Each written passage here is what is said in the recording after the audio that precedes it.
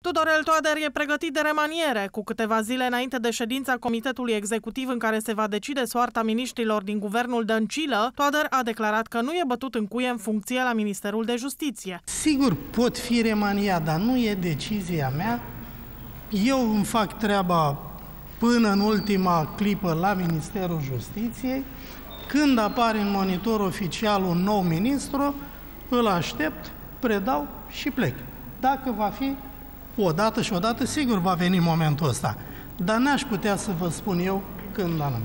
Secretarul general al PSD, Codrin Ștefănescu, a declarat joi că în partid se discută despre organizarea unui comitet executiv săptămâna viitoare pentru a realiza evaluarea miniștrilor și a se decide asupra remanierii guvernului Dăncilă.